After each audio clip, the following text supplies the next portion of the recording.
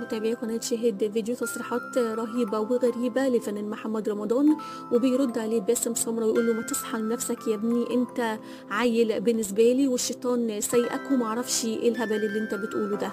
تابعوا معنا التفاصيل ولا تنسوا إبداء رأيكم ودعمنا عبر الضغط على زر ال like واشتراك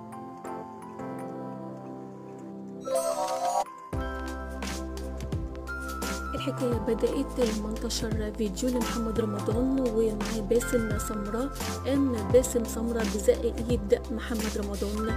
وكان تعليق محمد رمضان على هذا الحدث ما كانش في وعيه وإلا كنت مديت ايدي شمال. الفنان محمد رمضان على الفيديو المتداول بينه وبين الفنان باسم سمرة بأحد الأفراح وقال باسم. ما كانش في وعيه كان فرح صديق وأخ كبير.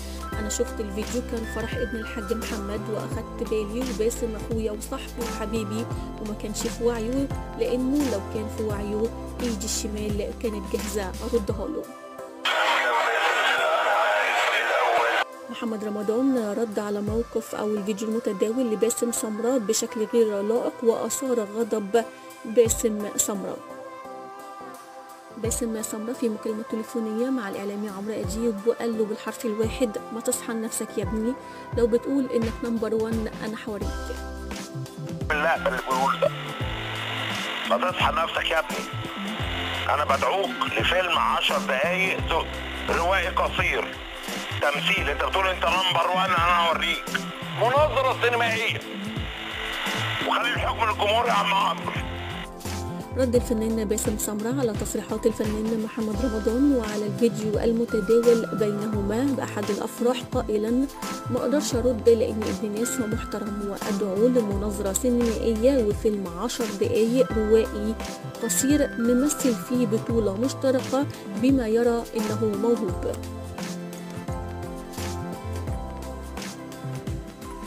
قال باسم سمرة خلال المداخلة الهاتفية ببرنامج الحكاية مع عمرو أديب محمد رمضان مثل معايا قبل كده وكان أخويا الصغير. وأنا بحبه بس معرفش ليه الشيطان سايقه وكنت محتضنه بس بيقول كلام أهبل. ما تصحى لنفسك يا ابني لو أنت بتقول إن أنت نمبر وان أنا حواريك ومحدش يقلل مني خصوصا لما يكون عيل صغير.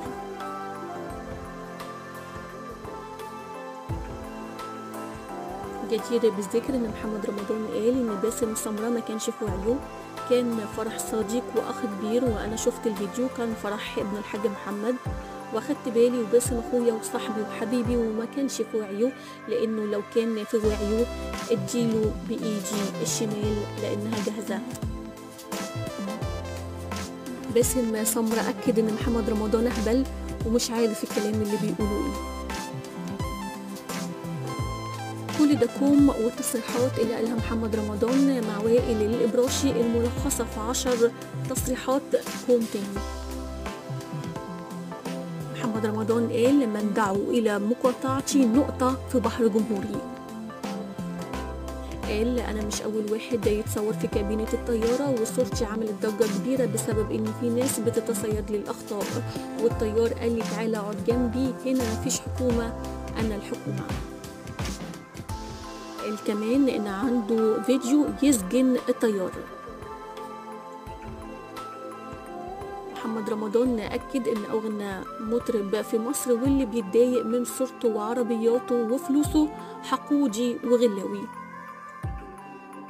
وقال كمان باسم سمرة ما كانش في وعيه ولما دفعني ولو كان يقصد كان هيلاقي دراع الشمال قصاده. قال ما عنديش عقدة من عادل إمام لأنه ليس من جيلي وأنا واحد من تلاميذه وماشي على نهجه وأكد إن الطيار كان فرحان علشان انفصل من عمله. محمد رمضان وجه رسالة للطيار وقال له روح خد التسعة مليون من ال social media.